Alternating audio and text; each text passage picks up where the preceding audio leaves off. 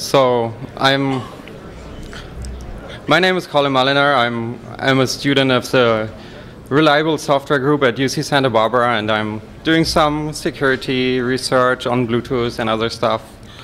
And today I'm going to talk about advanced attacks against Pocket PC phones. But actually, that's only half of the truth, since we're actually going to talk about MMS-based attacks against Pocket PC phones. So, yeah. Yeah. Basically, yeah. So, so we're going to talk about um, so we're going to talk about um, attacking and exploiting Pocket PC-based smartphones, um, about vulnerability analysis of smartphones and applying fuzzing to smartphones. Um, in this particular case, we're looking at the MMS, at MMS, the multimedia messaging service. And of course, we are going to looking at the client side, the user agent side. So basically, we're going to look how to analyze and then how to attack the Pocket PC MMS user agent. So first, a small overview about mobile phones, um, state-of-the-art attacks, a little bit about Pocket PC, the multimedia messaging service, then um, vulnerability testing of, of the MMS, uh, of the multimedia messaging service, and then some nice exploits and how to own MMS user agents and some conclusions, of course. So right now, the um, the basic um, uh, attacks against mobile phones are either Bluetooth-based attacks, where you just like take control over the phone using some logic errors, where you can like steal phone books or use it to do denial of service attacks, or you attack third-party applications, do some code injection, some some denial of service, or if you go to SMS, MMS, we have these MMS worms for Symbian, which don't really um, utilize um, real vulnerabilities. It's more like, yeah, let's see if the user is actually dumb enough to run this Trojan. And some common examples are the Convoy, the Mabir worms. And then we have the SMS-based attacks, some format string exploits, which basically can only be used to crash the device. Or the, the Siemens thing, the, some special characters. If you send an SMS with a special character, the phone just freezes. Very, very stupid, not very advanced. So we're going to do advanced attacks. So Pocket PC was exploited about like three years ago. There, there was a first talk about DEF CON, I think 11, uh, or, or 12, I don't know. Yeah. So the basic things are, okay, we can attack some third-party applications, preferably FTP servers, or we can do um, some attacks against the Bluetooth stack. There's actually a nice, not really public exploit, because the yeah, Microsoft said, oh, we're not going to fix it, the next version is getting out. So Tim Herman of our group, he wrote this really nice exploit then we have some other Bluetooth OBEX-based attacks. Nothing, it's cool, but not not that, that great. And then we have some denial of service, if I could active sync, or some local attacks which are kind of stupid against PDAs, but they're there. So quick overview, what is Pocket PC? So Pocket PC is actually just the Windows CE versions used for PDAs and smartphones yeah, there are a bunch of architectures supported, but we are actually only interested in ARM. Also, we're not going to do any shell code or things today. Um, yeah, the current version is 5.0, but there are so many 4.2 devices out there, so we're going to look only at 4.2. So that's basically the phones where the devices we're interested in. Just two examples where we have like GSM, wireless LAN, Bluetooth, infrared in one device. Um, yeah. So these kind of phones are we going to attack. Some quick overview about Windows CE. Um, so we have this um, Windows CE only has like one virtual address space for the whole, for all applications or all processes, which is divided into this really stupid slot structure.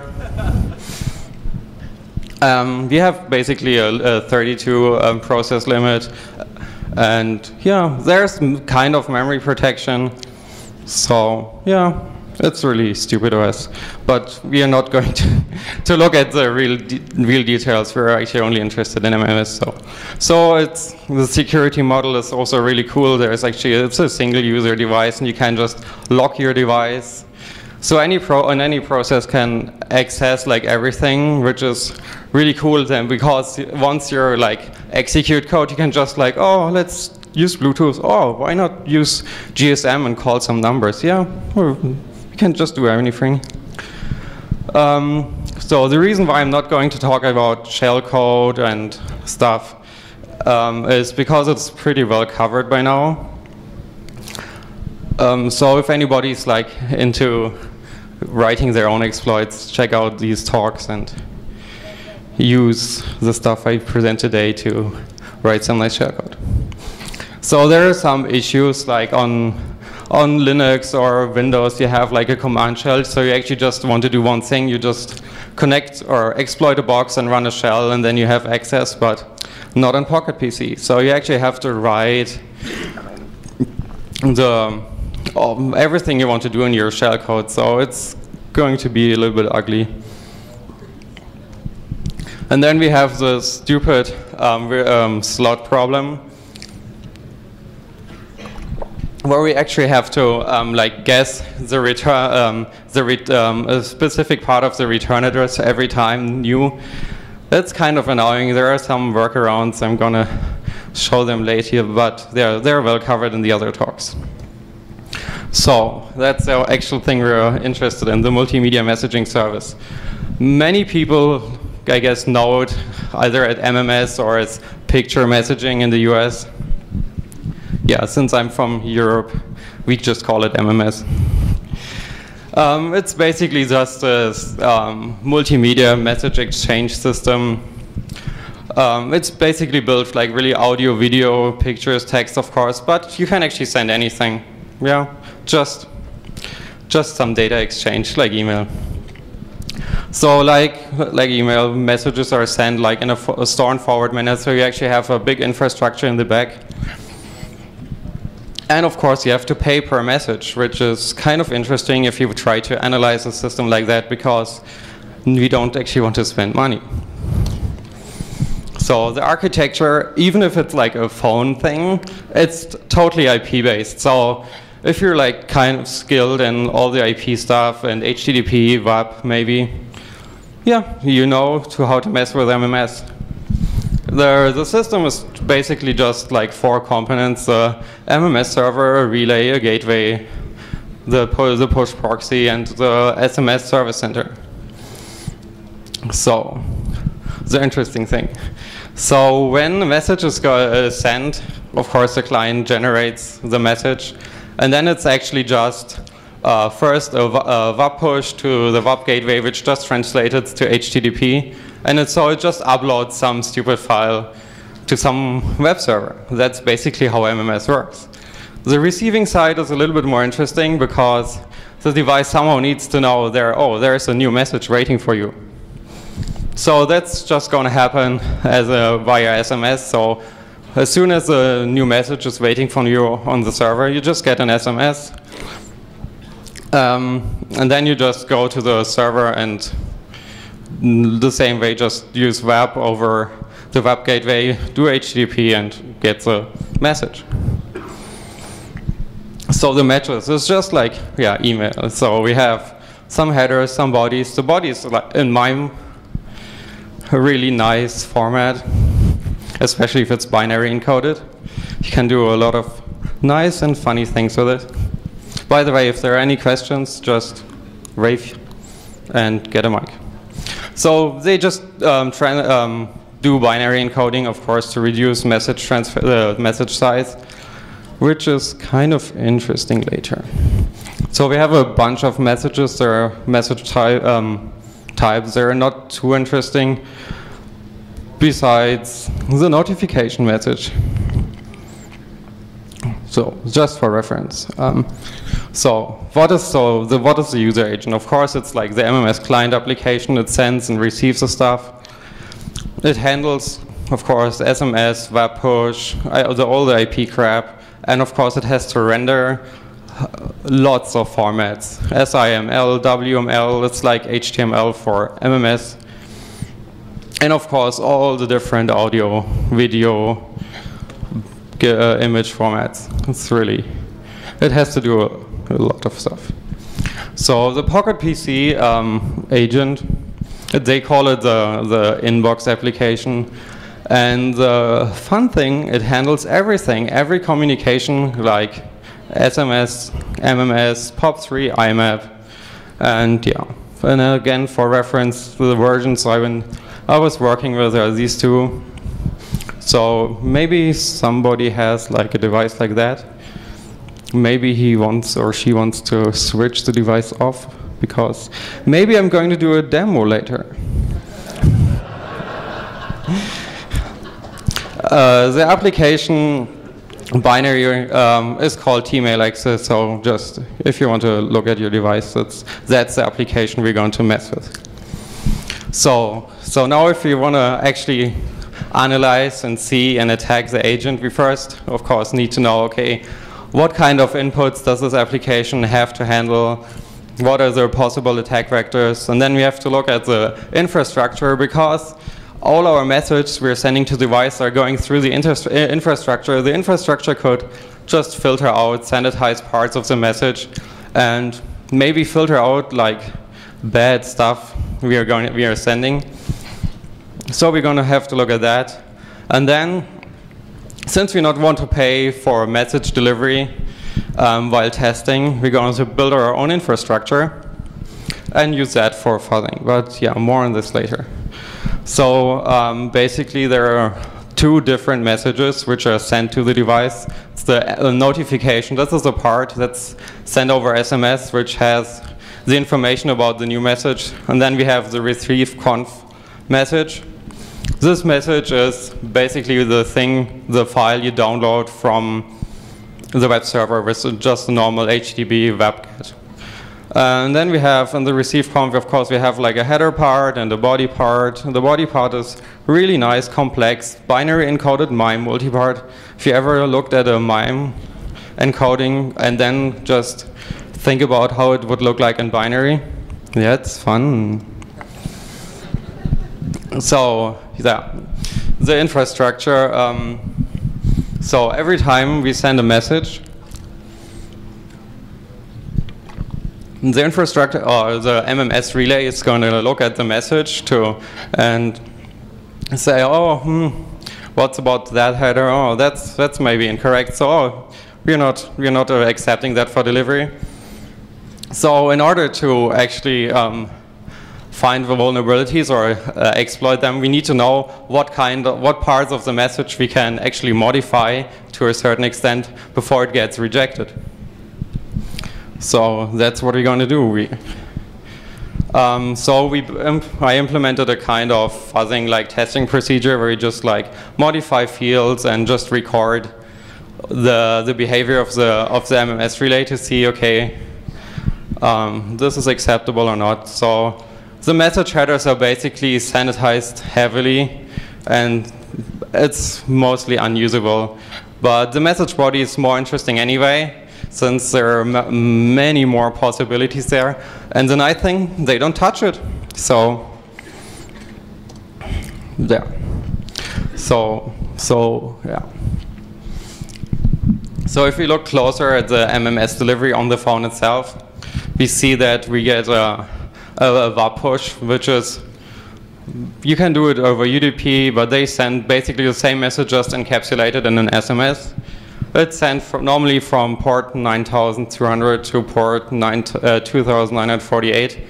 Um, these are SMS ports. So in SMS you can also have those port identifiers.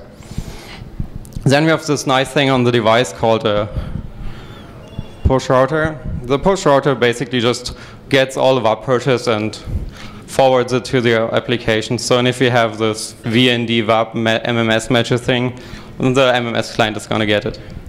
And so mm, the, the real fun thing is the message, the URL where to receive the actual message. That's just part of the of the uh, of the notification. There's really just a URL string like here is the message, get it from here. And now the the really bad bad fuck up of Microsoft. the Pocket PC device who have wireless LAN also accept the push message on um, the wireless interface.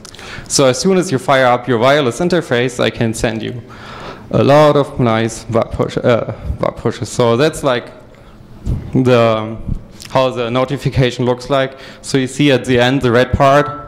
This is just the URL where the message is waiting for you, and then you see the blue part is the WAP push, just some information. You see some transaction, and the subject, it's all in there. So what you actually can do, you can just build your uh, a small WAP message generator and then just start sending WAP pushes over wireless to your device and your device will think, oh, there's an MMS waiting for me. And your phone will try to dial up GPRS and it's, the sound is also very, very annoying. And if you send hundreds of messages, thousands of messages, your phone is going to be very, very slow. And you can do stuff like, oh, fill up the MMS inbox, the file system, and you, can, you cannot do like select all and de just delete the junk message. You have to go through and delete one message by one by one, which is a really, really nice DOS attack. So of course we're going to get, publish a tool. Uh, also the tool is not, yeah, I, I haven't put it on the website yet. So the, actually the trick is to, for the flooding, is to um, make the phone believe each message, of course, is a new message. And the, thing is, we just have to have a unique transaction ID and content location. So if you look at the slides later, um, with the, uh, the notification printout, you can see what parts you have to modify in order to have a nice, um, small, unique notification message. So, and yeah, if you, that could happen to you today if I put the tool online.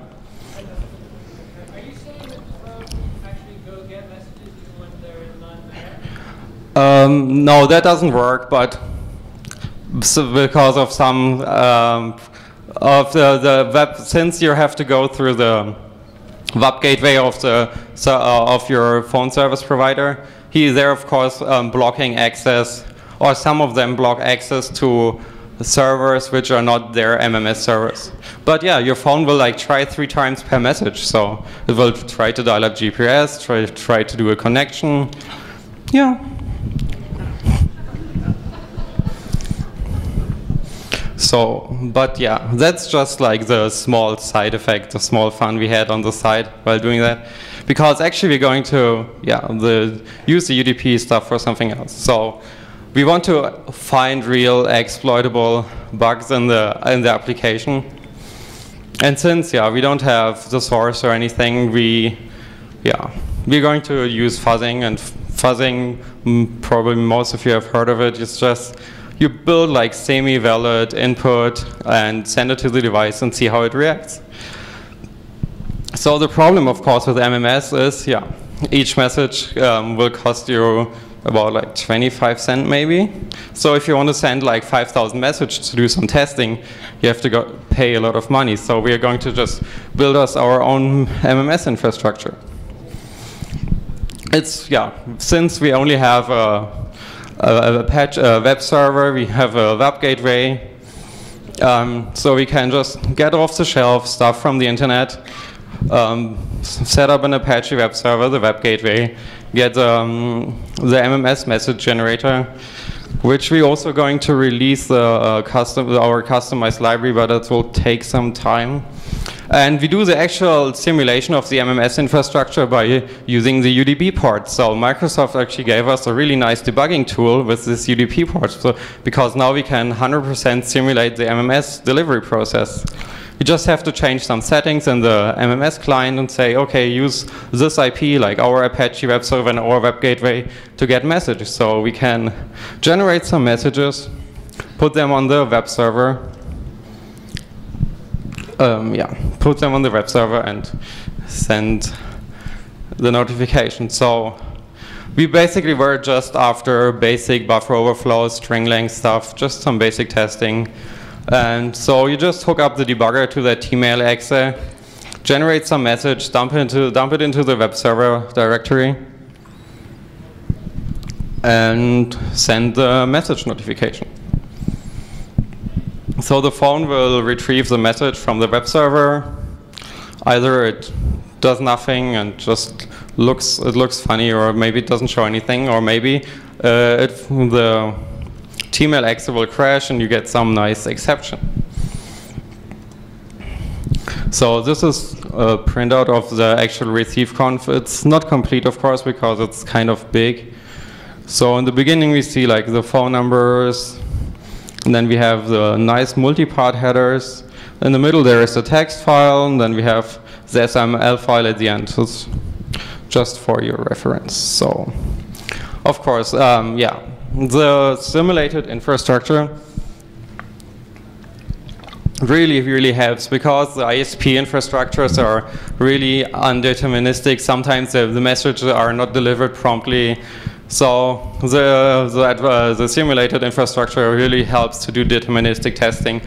Also, maybe we want to test the parts that are normally sanitized.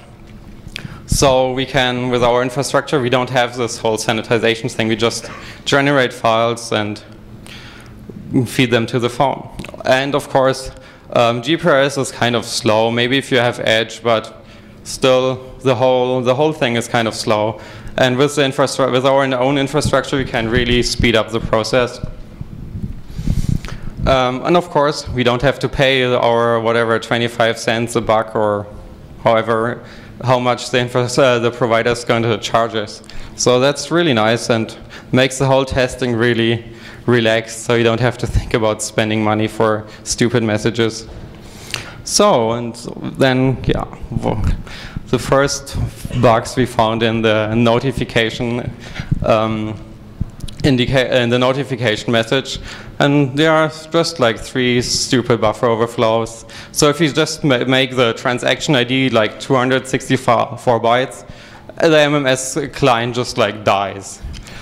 So, and if you remember, you can send this message over UDP. So, as soon as the the wireless is up, you just go out, send uh, a nicely modified notification message, and you can crash Tmail exe. Unfortunately, all these overflows are not um, exploitable for code injection. You can just overwrite parts of the stack, and the application just goes away. Uh, so the bad thing is, okay, you see my, oh yeah, when I do, when I want to like write SM, MMS, I don't need to be on the wireless, but since the application is also handling um, emails, so maybe you want to check your email, and at that point, we just fire. And so anytime your wireless interface is up, you cannot read emails, SMS, MMS, a really nice one. Then we have some other bugs in the mretrieve config. That's, yeah, they're not so interesting. So uh, in the in the body, um,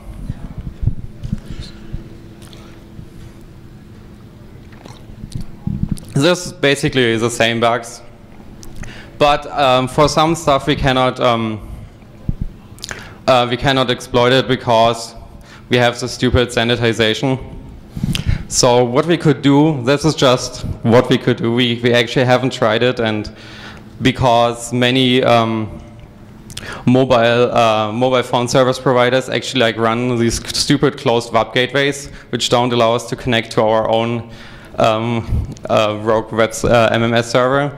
But if you find an ISP which doesn't block access to other IPs, you can just run your own MMS server on their network or on just on the internet and send a nice SMS which points to your server. So, and whoops, you can exploit all the other bugs you just found which were normally not exploitable.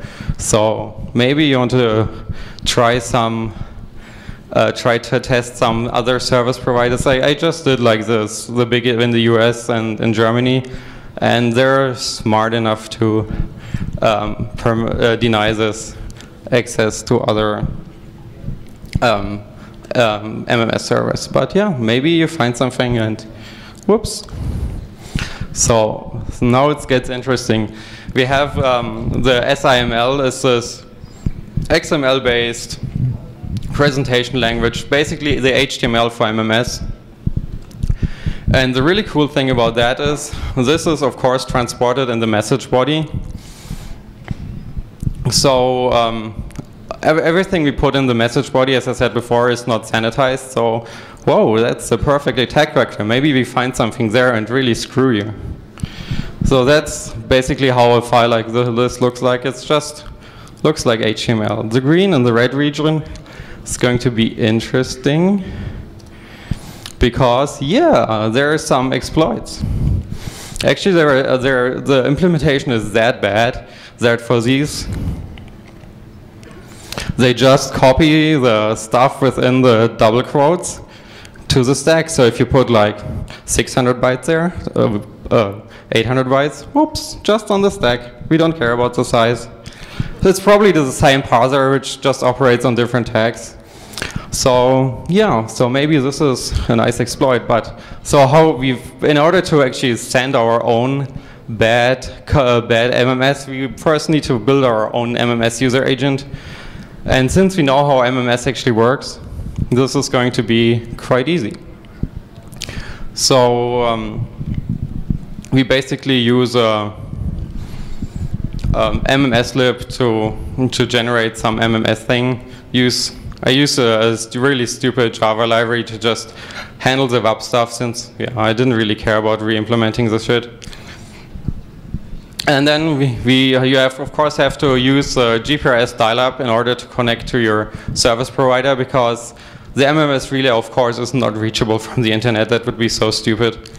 Um, or some, of course, sometimes the, the whole infrastructure is just in a private IP range, so it's not connectable by the internet anyway. So building a MMS user agent is actually quite easy, and yeah. so yeah, the zero day. We can actually use this exploit from before, uh, the, the vulnerability to just yeah do some remote code injection over MMS and not like the other MMS things where you just have to like install and yeah, I don't, it's okay that the application is not trusted. You just click on it like on an email and as soon as the viewer go, goes in action, bang, code executed. So yeah, there is some, so on the left side, of course, it's just like the, the inbox. And yeah, if you click on that little message, whoops,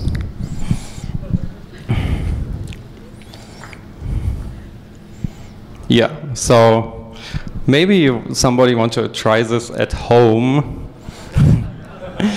um, yeah, so as I said, I, I, use these two devices. I, I really don't know if how many devices are affected. Um, but yeah, if you want to try this, there are the return addresses, the stack size, and so the, sl the slot problem I mentioned in the beginning is it's actually really, really stupid. Um, so you actually have to guess on which slot, memory slot, uh, the Tmail is going to be executed. And what I found is like 14, 16, 20, 24, of course, hex um, are the common slots. So basically what you do is just not send one uh, one malicious MMS, you just send four, and maybe the user is stupid enough to try to execute all four. And at some point, we will have him. So yeah, have some fun with that. Oh, woo. I'm way too fast. So of course we have. I've talked to Microsoft and the company X who doesn't want to have his name mentioned, but actually the name is on the slides I submitted because they responded like very slow in the beginning. So they really showed that they took it seriously because, yeah, one of their VPs of course, the marketing people, since they don't have one single security guy in the company, he was like, "Whoa, we can't do that. Can't really, you can't publish that." And but in the end, they were actually very slow. It's uh, very fast. Sorry. so um, in about a week, they actually managed to bring out a fix, and the fix is now sitting at the OEMs because they need to be tested and approved before they can be released. So as far as I know, they haven't been released. So you have, I guess, maybe a week or two to exploit this. But yeah, do it with your own devices, not with your owned devices.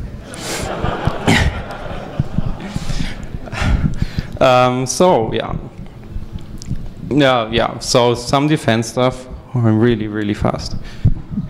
Um, of course, you could like just run um, a packet filter on your device on, on your Pocket PC.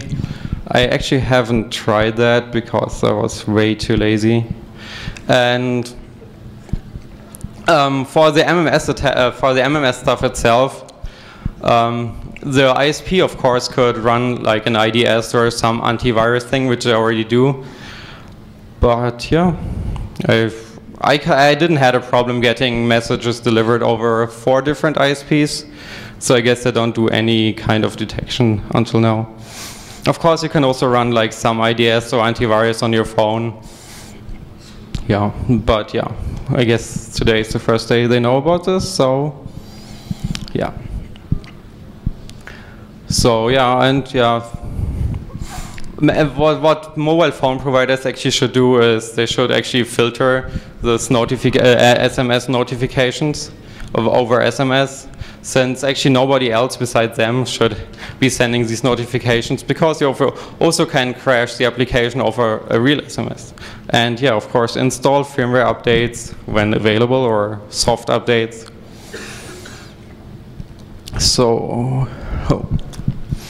So the problem, yeah, security testing for smartphones is like really, really painful. Because you have this infrastructure, you have, you don't have source code, and in some cases, yeah, if you're if you're like doing the security engineering side, then you oh hmm the MMSA user agent is actually is talking to everything like to the GPRS mobile phone network and to Wi-Fi. So you really have to be careful what you're doing.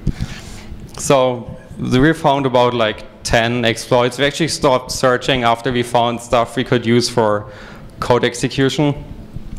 We will, of course, post a nice advisory on the list.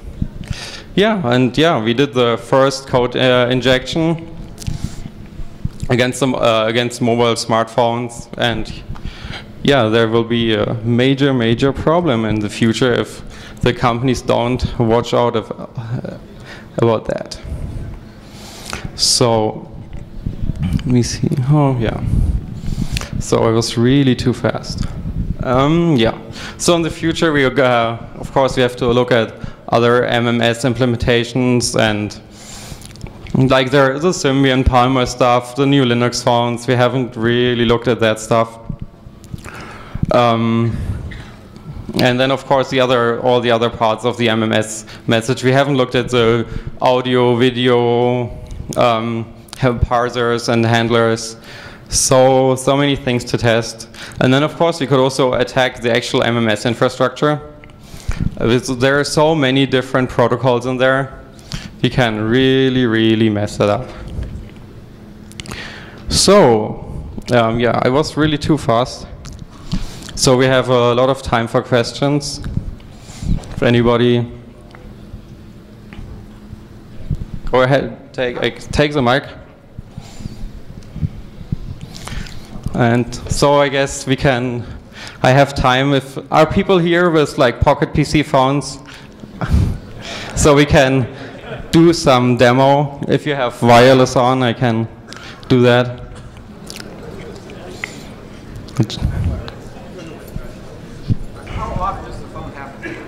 Is it on? How off does the phone have to be?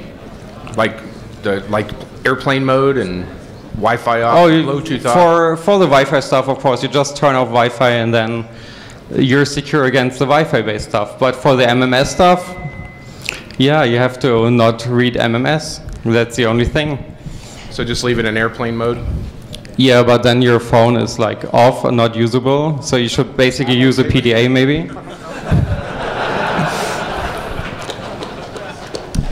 Um, when you were testing and you found that all the major carriers uh, prevented the client from connecting to a rogue server, um, did you try running a server like on uh, on a device that's actually on their network, like a, a cell phone or? Yeah, we we tried um, we tried that, but not with all providers. With some, and yeah, I guess the the European and the US providers are really up to date with their MMS stuff. But I've, I found online uh, in the in the MMS actually developer forums online, they give you so much nice information, and people are oh yeah, I think like in the former Eastern Bloc countries, I think some the, some providers still just run totally open networks. But apparently the, the German and US stuff was open I think until two years ago because I saw posts where people were just oh I want to play with MMS and people are just like reconfigure the MMS server Just go ahead. So how about the future? Uh, what about 5.0? Is it super secure? Because uh, I have a personal, um, this kind of hits me personally because I do have a 5.0 phone, but no, wireless is not on. uh, so yeah, I only, yeah. It that? So I also, I never actually had like a 5.0 phone, but a friend told me that uh, apparently 5.0 is completely compiled with stack protection. Yeah, I, I really don't know. Some some people looked at it and they saw oh, there is no way in. So I I haven't looked at it. I cannot say anything, but you should be able to at least um, be able to crash the application over UDP. How, Since how, how is that possible? Because the exploit is based on MMS. I mean, does it does 5.0 somehow look at the header as well as the, the body? Uh, no, or? so um, if you, yeah, stack protection just like checks that if you overwrite the stack, um, the function address doesn't, the function doesn't return, so your code is not executed. So it basically just gets um, converted to a DOS attack, which is kind of stupid over MMS since you actually have to pay for it. But the UDP attacks should still work, yeah. I, yeah, I really haven't tested anything about 5.0, so maybe I can get a 5.0 device and look at it. Preferably not mine. Appreciate it. Uh, the fuzzer you used, did you write that yourself or did you use another application? And if you wrote it, will you be releasing it? Uh, what, what application? Uh, the, fuzz, the fuzzer you use. Um, yeah, we will, that will take some more time since it's actually a university project and we have like a scientific paper on it, so we keep it until then. But it's going to be released this year. The other application, the, the DOS tools, everyone can try it out, will be released later. As soon as I get off stage, I will try to put it online yeah. together with updated slides. one other quick question. Are there other services that you're attacking? Or is it just MMS that you're We're interested just, in? just looking at MMS. Okay. Anybody else? I guess I still have like 10 minutes or something. Hmm? No, no dance. Um, so any volunteers for like putting up their, firing up their wireless?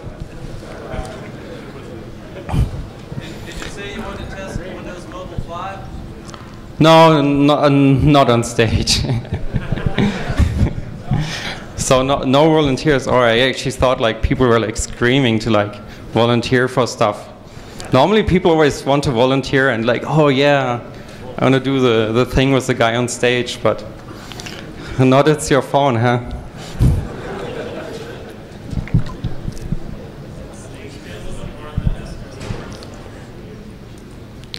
Please use a mic. okay. I guess I'm like totally under time. Oh, the, another question? Yeah. Thanks. So I can don't get in trouble with the DEF CON crew. I, I was just saying, um, could you expand a little bit more on the SMS ports thing? Um, is that that's in standard SMS messages? There's like a port field or something? Yes, or? exactly. But like the the attacks over SMS itself, that's not as interesting because you actually have to pay for it. Yeah. So the thing is, the SMS ports are, so the whole port thing for the WAP push are just mirrored one-to-one between SMS and UDP. So it's basically, yeah, they just map it to the same port so you can send it over UDP and uh, according to the Microsoft security guy, we're just following the standards. I volunteer my phone for a demo. For two? No. Just just hook it up to the DEF CON network, and I will do the. sa- Uh, I have to just have to hook up my laptop to the DEF CON network. And yeah, I don't need your IP since Microsoft accepts actually messages sent to the broadcast address, so you don't have to search stuff. so you actually don't have to search. You just like yeah. I have a question while you're thinking about that. Do you have any idea why Microsoft allowed the UDP uh, notification messages? Like, do you, do you have any thoughts about what their uh, reasoning might have been? Because because they're just following the standards. That's what that's what I was told.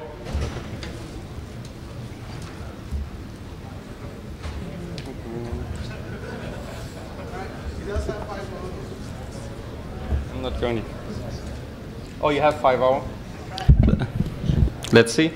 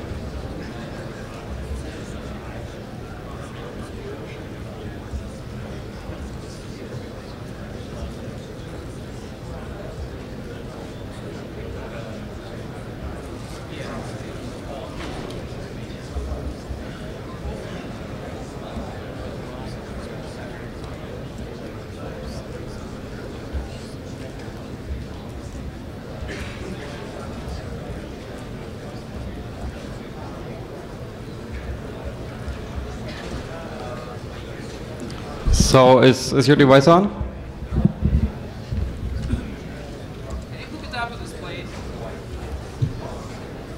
You don't see anything on my laptop. yeah, give me the IP for now.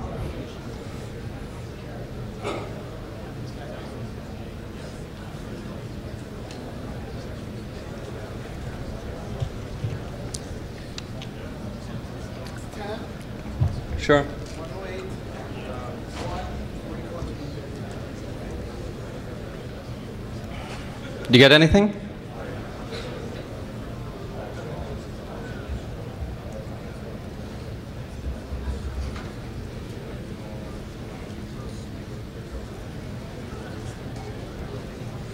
Still nothing? Oh, bummer. Anybody with a 4.2 device? Okay, so I guess I guess that's it. Five minutes early, but